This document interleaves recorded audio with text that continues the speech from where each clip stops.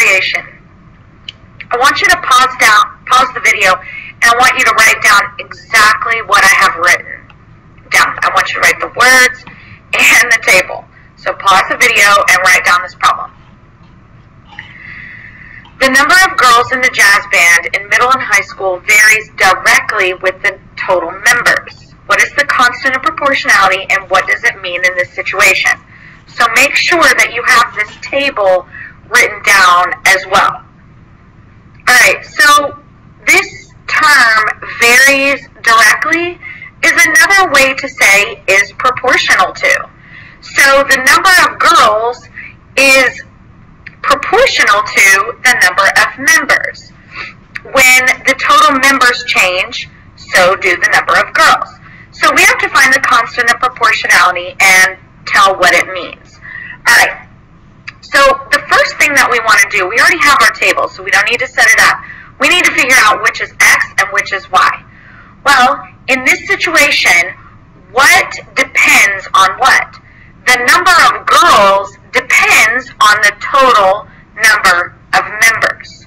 So our x in this situation will be our total members. And our y is going to be the number of girls. Because again, the number of girls depends on how many members are in the band. So when I ask you for the constant of proportionality, I want you to write k equals y divided by x. And then all we're going to do is substitute in our y values and our x values. So in this situation, 6 will be divided by 15. And we can simplify that by dividing by 3 thirds. So our simplified constant is 2 fifths.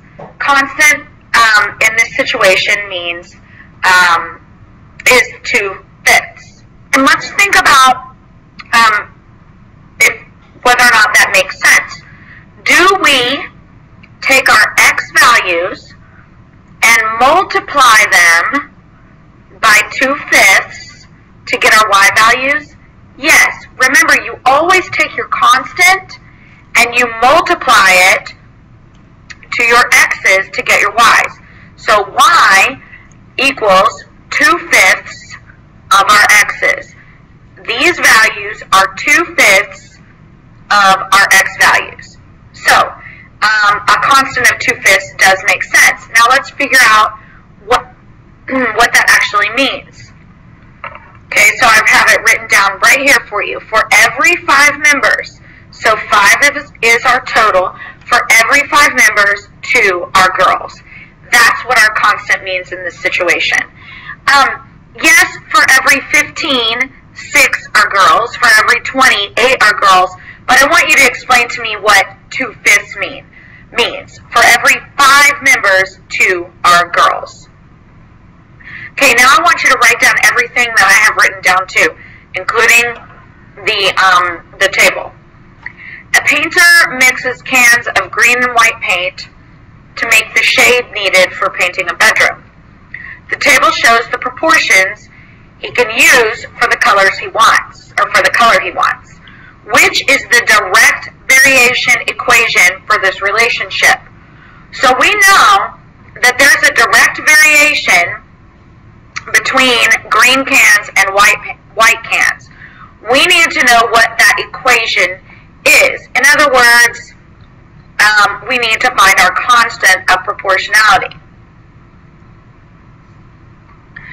Now in this situation, we don't have an x and a y. In our, in our examples, or in our um, potential answers, we have G and W for green and white. So we need to figure out, using our answer choices, how do you get either from green to white or from white to green? Okay, so what I'm going to do is I'm just going to look at 6 and 9. And I'm going to say, well, if that's a if that was a fraction, I know that I could simplify that to 2 thirds. So I'm going to 2 thirds, I have 2 thirds, I have 3 halves, and I have 3 fifths. I'm going to eliminate D because I know that 3 fifths is not going to be part of my answer. So now I have to look. Okay, let's start with A. G equals two-thirds of W. Do the green cans, to get the green cans, are those two-thirds of the white cans? Is this, are green cans smaller than the number of white cans? Yeah. I think that this potentially could be an answer, but I'm going to come back to it. Are my white cans two-thirds of my green cans? Are my white cans two-thirds of my green cans? That can't be it. Because I know that my white cans are bigger than my green cans. So can't say that uh, the white is two-thirds of the green. I know that that's not going to be it. And then the last one are the green cans three halves of the white cans. That means one and a half times the white.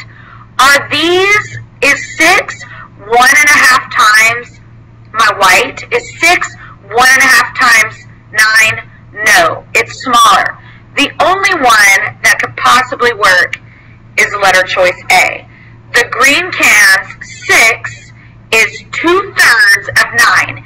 If I take 9 and I divide it by 3, I get 3. And then if I multiply it by 2, I do get 6. Pause and rewind as much as you need to. Rewatch the video a couple of times.